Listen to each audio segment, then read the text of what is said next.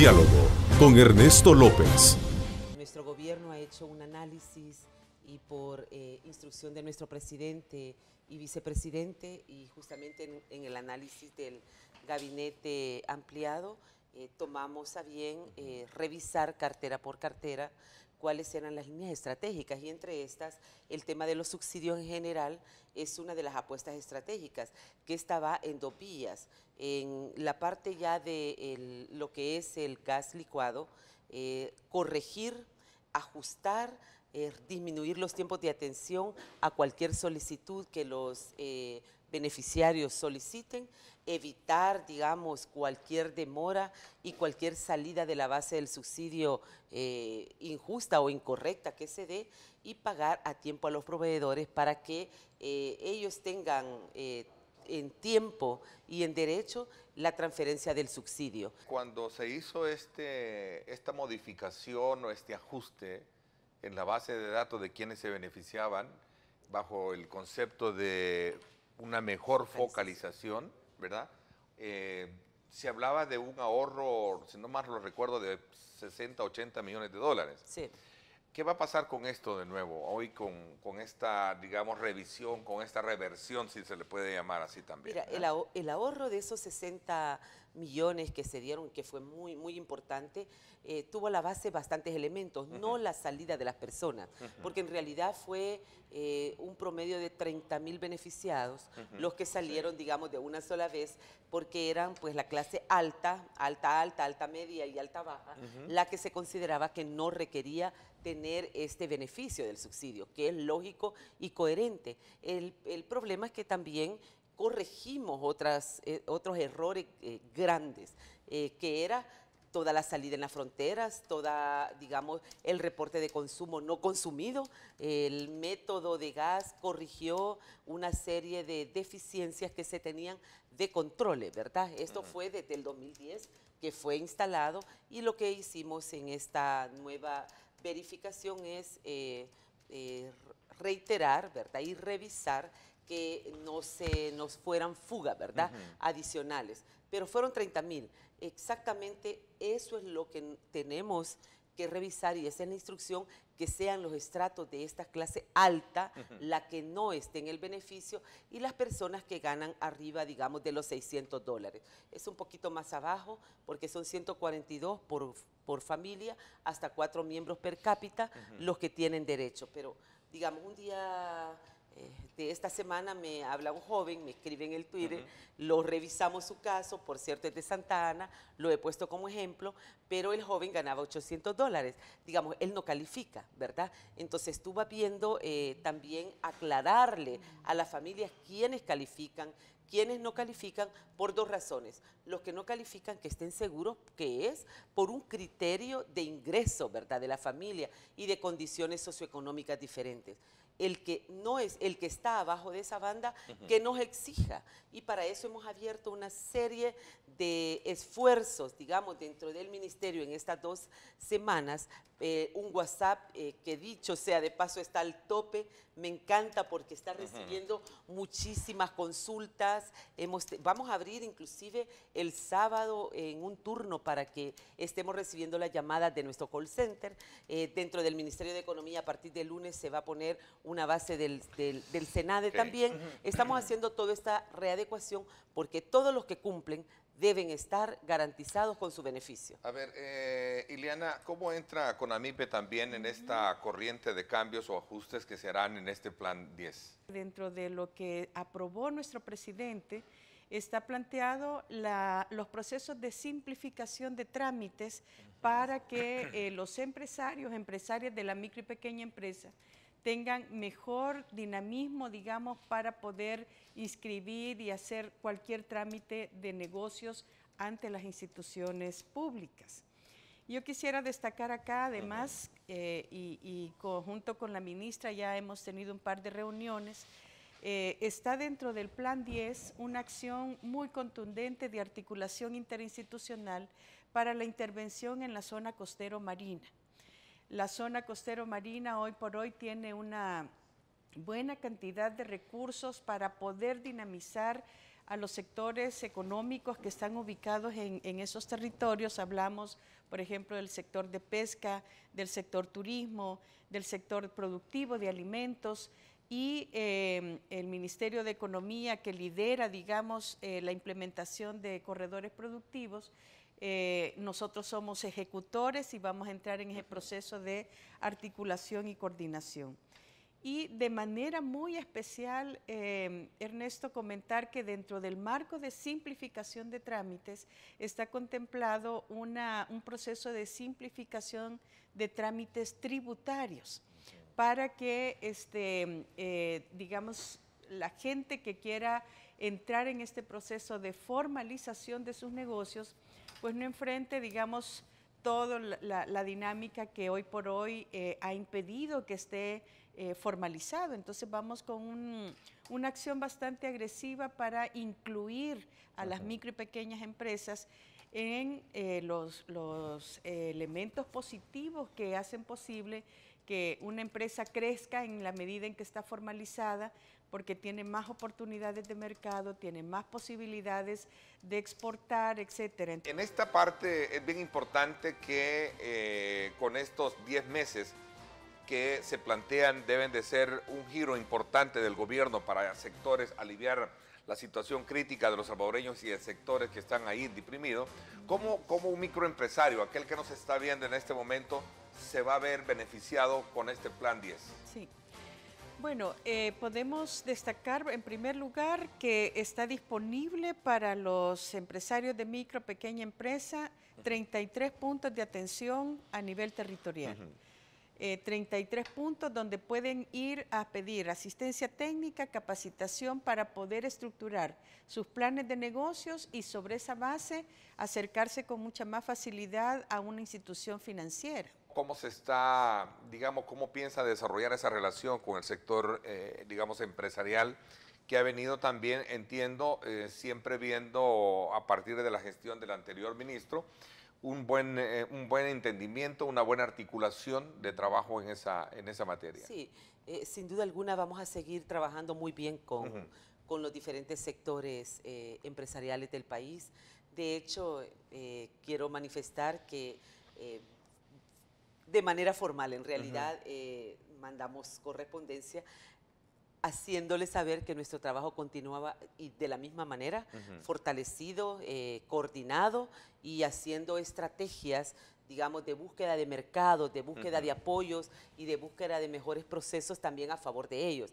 Eh, de hecho, la ASI, su director ejecutivo y su presidente, eh, justamente era esa, esa coordinación y poniéndonos, digamos, en una materia de entendimiento, porque también fue una de las prioridades que el presidente de manera directa me pidió continuar con todo ese buen esfuerzo que ya veníamos trabajando como Ministerio de Economía. De hecho, con la embajadora hemos estado en varios eh, foros con el sector textil, acompañamos varios procesos. Lamentablemente yo el día de ayer no pude acompañarlos al evento, pero mañana tenemos eh, una reunión con toda la junta directiva de Camtex. Ustedes van a ver, yo voy a ir a su gremial para poder continuar con todo este trabajo. El sector textil ha sido un sector, digamos, transformador, parte de nuestras cadenas eh, prioritarias, ¿verdad? Y nuestros sectores prioritarios. En los acuerdos comerciales siempre ellos tienen un papel sumamente relevante, una... Eh, digamos, eh, siempre se le toma la palabra y se toman acuerdos. Y con la ASI veíamos la ley de zonas económicas especiales, veíamos también todos estos esfuerzos que ya vienen trabajando, nos van a acompañar, eh, según lo manifestó su presidente, en la presentación de estas iniciativas, la misma eh, presentación de la profundización de la, del Triángulo Norte, la incorporación del Salvador, que para ellos es muy importante, Recuérdense que por Anyatú salen la mayor parte de productos textiles, eh, por las fronteras, pues en general, pero Anyatú es clave. Es, clave. Y está dentro de nuestras acciones estratégicas continuar trabajando con, todos estos elementos. ¿Qué pasó con Honduras y el tema de lácteos? ¿Cómo se sigue la, situación? Lo hemos estado abordando durante la semana. ¿Se resolvió ya el problema? Eh, el día de hoy vamos a tener eh, una segunda reunión y probablemente el ministro de Agricultura y alguien de mi cartera también viaje a, a Honduras para poder cerrar en buen término esta situación. Vamos a coordinar con el Ministerio de Economía, que tiene la Dirección de Innovación y Calidad, que eh, tiene que ver también con estos temas, tiene que ver con esta apuesta, digamos, por eh, acercar estos servicios que den certeza de que los productos salvadoreños se están produciendo de buena calidad, utilizando eh, tecnologías de la información. Y en ese contexto, pues quiero expresar además que vamos a fortalecer esta alianza con el sector privado, con las universidades, con la academia, porque nos ha dado un buen resultado. O sea, aquí hemos puesto, Ernesto, en funcionamiento dos de las cuatro operaciones matemáticas, que es sumar y multiplicar para apoyar a las micro y pequeñas empresas del país. Y esto no está aislado, digamos, de todo este proceso de, de dinámica que le queremos imprimir en estos 10 meses. Está vinculado, digamos, con ese esfuerzo de territorializar los servicios empresariales con más énfasis. Ok, a ver, ¿cómo, cómo, cómo está, cua- cuál es el estatus en el que se encuentra la transformación también de la institución ya a un viceministerio o una institución autónoma? ¿Cómo queda o cómo se va a resolver el problema con los trabajadores, Iliana? Sí. Bueno, eh, quiero destacar que ya con AMIPE sufrió su transformación en términos de los papeles, Sí. digamos, en términos jurídicos. Sí. Somos una autónoma ahora eh, que nos permite tener un poco de mayor, digamos, agilidad con algunas cosas.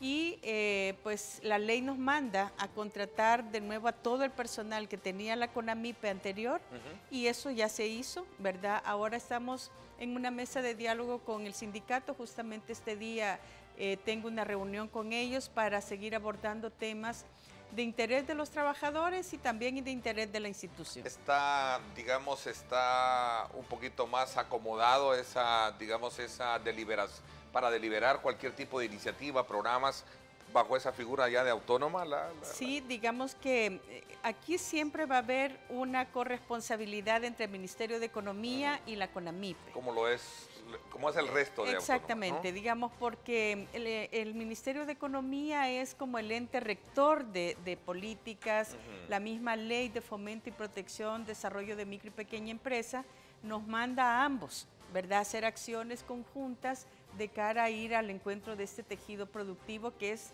por cierto, el más grande, o sea, hablamos del 99.5% del parque empresarial del país está compuesto por micro, pequeñas empresas. A ver, cuénteme cómo, cómo, cómo encaja la visión del banco o su rol, su papel ahora con este plan 10 que, por cierto, fue un acuerdo tomado en Consejo de Ministro ampliado. Sí.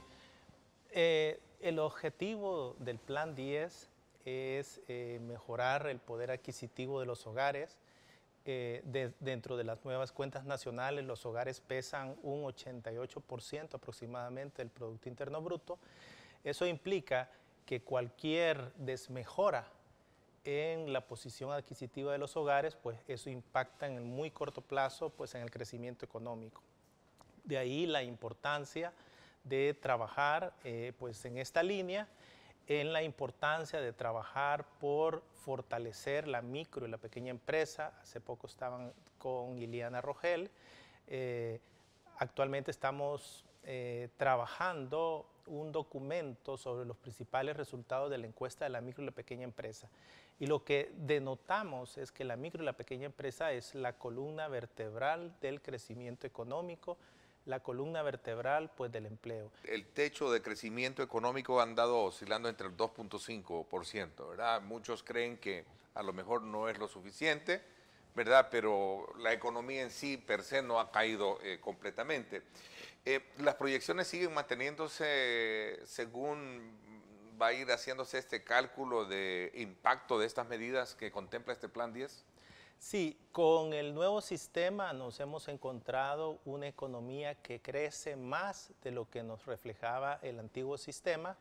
En los últimos 10 años el antiguo sistema sostenía que crecíamos a una tasa Sistema, del 2%. sistema nacional de, de cuentas nacionales. De cuentas nacionales, que ese es el tema, ya, ya- ya vamos a Sí. hablar. Eh, pero lo quiero enmarcar porque en- bajo ese sistema crecíamos en promedio los últimos 10 años 2%, ahora crecemos en promedio 2.60 y las perspectivas que tenemos para este año son crecer a una tasa de 2.5. ¿Qué es lo importante? Es que la economía salvadoreña se encuentra creciendo por arriba del crecimiento potencial que se ha estimado alrededor del 2.2% y estamos aprovechando eh, un periodo donde la política económica ha generado certidumbre. Las mejoras de 22 posiciones en el Doing Business están generando certidumbre para la inversión privada y eh, esto ha dado como consecuencia que el año pasado la tasa de crecimiento de la inversión haya sido del 12%. Dos dígitos creció la inversión privada. ¿Cuáles son eh, aquellos rubros o aquellas apuestas más directas que van a, se va a sufrir o se va a tener a lo largo de lo que resta estos 10 meses? Eh? Eh, mencionaba, por un lado, el sector de los hogares, tiene pues un peso muy importante dentro del Producto Interno Bruto, de ahí la importancia de mantener el ingreso de los hogares. E, ese es uno de los sectores que es fundamental para la actividad económica. Otro es el sector público. Necesitamos fortalecer la inversión pública. Eh, no podemos estar un año la inversión creciendo y, otra, y otro año pues cayendo. Otro vamos a promover eh, lo que es la inversión privada y, dentro de la inversión privada eh, hemos estado viendo cómo la, los saldos de inversión extranjera directa del año pasado crecieron 795 millones aproximadamente, que es el nivel, eh, Ernesto, más elevado desde 2013. Pero lo interesante es cuando abrimos, eh, cuando descomponemos hacia qué sectores va la inversión, ya nos va dando la señal de hacia dónde va el plan 10. Lo que vemos es, de esos 795, 414 millones van dirigidos a la industria manufacturera. La industria manufacturera es un sector clave pues, de la economía salvadoreña y si abrimos la industria manufacturera, la política de diversificación y transformación nos establece que el sector agroindustrial, el sector textil, el sector plástico, la química farmacéutica, la química básica, eh, servicios avanzados a las empresas y sobre todo eh, el sector pues, aeronáutico. Esos son como sectores eh, importantes. En el sector agroindustrial es importante dentro de este plan 10 continuar fortaleciendo las cadenas de valor que vienen desde el sector agropecuario. Y en el sector agropecuario eh, nuestro gobierno se está enfocando en fortalecer la caficultura a través del Pacto por el Café. Eh, el Banco Central ha venido pues apoyando esta pues iniciativa y el interés de, pues, del gobierno y del Banco Central es reactivar la caficultura. Un ejemplo, el, antiguo sistema nos decía que la productividad por, por, manzana era de 15 quintales de café uva. Con el nuevo sistema cae hasta 8.4 quintales. O sea, venimos de, de una disminución estructural de la productividad de la industria eh, cafetera.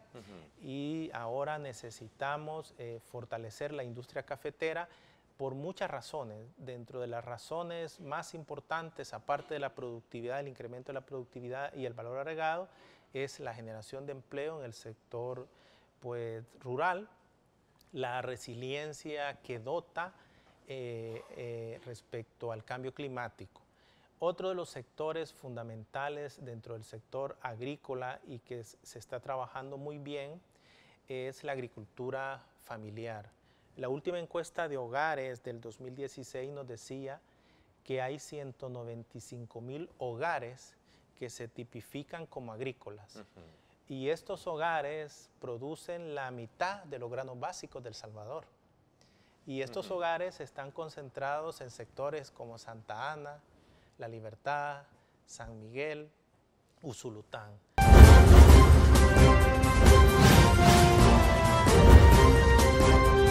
Diálogo con Ernesto López.